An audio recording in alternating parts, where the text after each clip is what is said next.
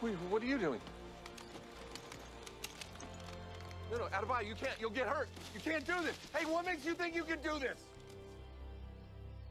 Because I'm made for this shit. Dude, God damn it, you're gonna get hurt.